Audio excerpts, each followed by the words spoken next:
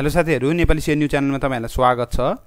आजको दिनमा चाहिँ हाम्रो नेप्से इन्डेक्स घटेको छ एकतिस पोइन्ट दुई एक अङ्कको गिरावट हामीले देख्न सक्छौँ। यसरी नेप्से घट्दाखेरि सबै सेक्टर नै रातो सबै सेक्टर नै घटेको हामीले देख्न सक्छौँ सेक्टर वाइज हेर्दाखेरि। र आजको भिडियोमा चाहिँ हामी हिजो अस्ति के कुरा भनेको थियौँ त्यसको फलोअप गर्नेछौँ है त। र बजारमा अब इन्डिकेटर वाइज मुभिङ एभरेज पचास दिनको दुई सय दिनको दुइटैभन्दा बजार तल त्यसपछि आरएसआई एमबिसिडी दुइटैले बिएरी सिग्नल यसमा त्यति कुरा गरिराख्नु परेन। हामीले भोल्युम हेर्छौँ भनेदेखि चाहिँ आज थोरै कुरा गर्नुपर्छ। भोल्युम चाहिँ हाम्रो जम्मा असी एकासी करोडको मात्र भोल्युम आएको छ आजको दिनमा चाहिँ। र यो चाहिँ अलिकति कम नै हो। रिसेन्ट टाइममा चाहिँ अलिकति कम नै हो। अस्ति हाम्रो शुक्रबार बजार चाहिँ दुई घन्टा मात्र कारोबार हुँदा पनि बहत्तर करोडको भोल्युम आएको बजारमा चाहिँ। त्योभन्दा नौ दस करोड मात्र बढी भोल्युम आउनु चार घन्टा कारोबार हुँदा भनेदेखि भोल्युम अलिक कम नै हो। अब यो भोल्युमबाट चाहिँ बियर मार्केटमा खासै एनालाइज गर्न मिल्दैन है। अब बुल मार्केटमा भएदेखि चाहिँ हामीले के गर्थ्यौँ भन्दाखेरि बजार घट्दाखेरि अलिकति चाहिँ भोल्युम घट्छ भनेदेखि चाहिँ बुल मार्केटमा चाहिँ लगानी गर्दाहरू सस्तो मूल्यमा बेच्न चाहेनन् भन्ने कुरा हामीले बुझ्थ्यौँ। अब अहिले सस्तो मूल्यमा बेच्न चाहेनन् मासतिर किनेर तलतिर बेच्ने मान्छे अलिकति घटे आजको दिनमा भनेर एनालाइज गर्न पनि मिल्छ। र त्यसपछि अर्को तरिकाले एउटा के एनालाइज पनि गर्न मिल्छ भन्दाखेरि मार्केटमा त्यति चाम छैन। मान्छेहरू चाहिँ अब त्यति इन्ट्रेस्टेड छैनन् होइन? बजारप्रति त्यति इन्ट्रेस्टेड छैनन् मार्केटमा चाम छैन भन्ने कुरा पनि यो भोल्युमको एङ्गलबाट चाहिँ हामीले बुझ्न चाहिँ सक्छौँ है त?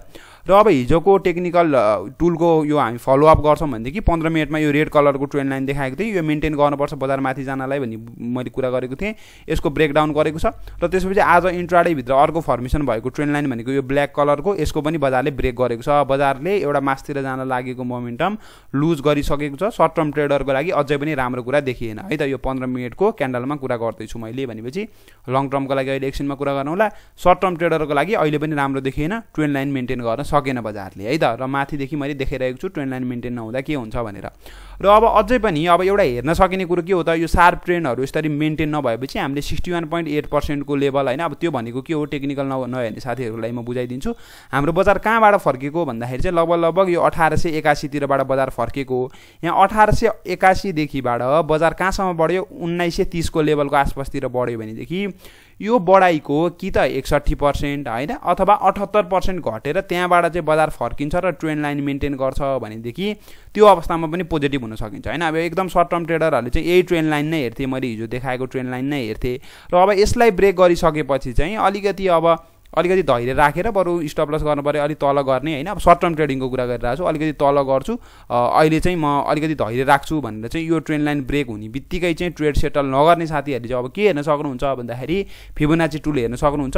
यहाँदेखिबाट यहाँसम्म जति बढेको थियो अठार सय एकासीदेखिबाट उन्तिस उन्नाइस सय तिससम्म जति बढेको थियो त्यसको sixty one point eight percent एकसट्ठी पर्सेन्ट घटेर पनि बजार फर्केन तर अठहत्तर पर्सेन्ट घटेर चाहिँ बजार एउटा फर्किन खोजेको जस्तो चाहिँ ग्रिन क्यान्डल बनाएको देखिएको छ। अठार यो जेरो पोइन्ट सेभेन एट सिक्सको लेभल भनेको चाहिँ अठार सय नब्बेको लेभलमा पर्छ। भनेपछि अब यसलाई पनि मेन्टेन गर्यो भनेदेखि चाहिँ पोजिटिभ हुन चाहिँ सकिन्छ। है त अब एक हिसाबले एकदम सर्ट टर्म ट्रेडरहरू चाहिँ यसको ब्रेक हुने बित्तिकै नै अलिकति राम्रो मोमेन्टम देखेन। सर्ट टर्म ट्रेडरको ट्रेडिङको लागि मैले भनि नै हालेँ। तर अब लास्ट लास्ट अप्सन भनेको अलिकति लास्ट आश रहने ठाउँ भनेको चाहिँ यदि अठार सय नब्बेभन्दा मासतिरबाट फर्किन्छ भनेदेखि ठिक छ। अठार सय नब्बेलाई नि बजारले ब्रेक गर्छ भनेदेखि नाइन्टी पर्सेन्ट प्रोबेबिलिटी होइन सयवटा ट्रेड हेर्छौँ भनेदेखि हाम्रो चाहिँ यो नब्बेवटा ट्रेडमा चाहिँ के हुन्छ त भन्दाखेरि चाहिँ अघिल्लो लो अघिल्लो लोलाई पनि ब्रेक गर्ने प्रोबेबिलिटी हुन्छ। यदि अठहत्तर पर्सेन्टको रिट्रेसमेन्टभन्दा पनि बजार तल आउँछ भनेदेखि नाइन्टी पर्सेन्ट केस चाहिँ अघिल्लो लो यानि कि अठार सय एकासीलाई पनि बजारले ब्रेक गर्ने सम्भावना चाहिँ हुन्छ अठार सय नब्बेभन्दा तल आउँछ भनेदेखि। त अब हिस्टोरिकल डाटा हो तपाईँले चेक गर्न सक्नुहुन्छ आफै पनि यस्तो यस्तो हुँदा के भएको छ भनेर मैले चाहिँ सयवटा ट्रेडमा नब्बेवटा ट्रेड चाहिँ त्यो भएको चाहिँ देखेको छु। सर्ट टर्म ट्रेडरहरूको लागि मैले भनिहालेँ त्यति राम्रो देखिएको छैन आज बजार हेर्दाखेरि चाहिँ है त?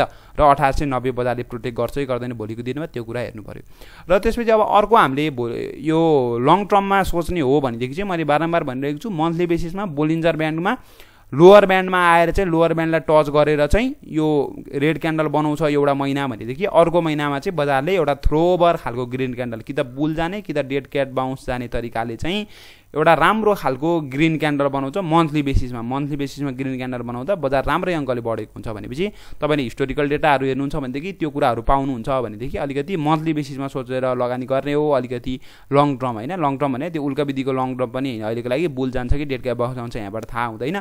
तर बोलिन्जर ब्यान्डको लोवर ब्यान्डलाई छोएपछि चाहिँ स्टकहरू बिस्तारै बिस्तारै कलेक्ट गर्दै गर्दै गर्दै जान सकिने अवस्था चाहिँ हामीले पास हिस्ट्रीलाई हेर्छौँ भनेदेखि चाहिँ देख्न चाहिँ सक्छौँ। समरी यही हो सर्ट टर्मको लागि त्यति राम्रो देखिएन। लङ टर्म सोच्ने हो भनेदेखि चाहिँ स्टकहरू सस्तो छ। बोलिन्जर ब्यान्डको एङ्गलबाट कलेक्ट गर्दै गर्न चाहिँ सकिन्छ। हस् थ्याङ्क यू